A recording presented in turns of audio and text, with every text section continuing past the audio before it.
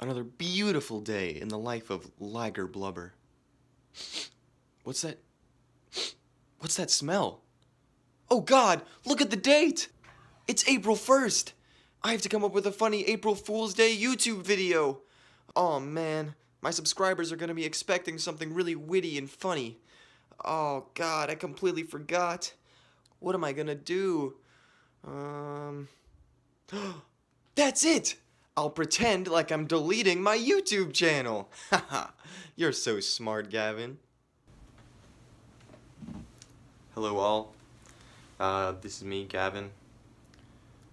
I have an announcement to make. We all knew that this was going to happen. I'm ending my YouTube channel, Liger Blubber, forever. This isn't gonna work. Nobody's gonna believe this. I have to come up with a better April Fool's prank. Ooh, I could tell them that my girlfriend is pregnant. No, I can't do that. That one's real. I didn't even realize. Look at the date again. It's Easter. So I can't just make an April Fool's joke without also incorporating Easter into it. How often is it that those two holidays fall on the same day? it all makes sense now. I have the perfect April Fool's Day prank.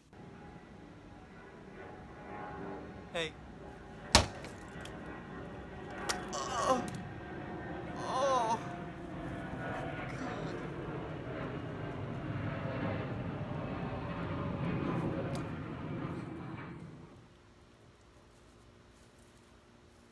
Hey.